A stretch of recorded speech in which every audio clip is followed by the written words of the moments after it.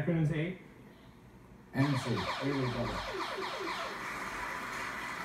Once again, you're off to a good start. You're in the lead with 4,800. All of it. All of it. All right, here is the clue. In 2018, this dividing strip of land was the site of a historic meeting between Kim Jong un and South Korea's president. What is the DMZ? Yes, indeed.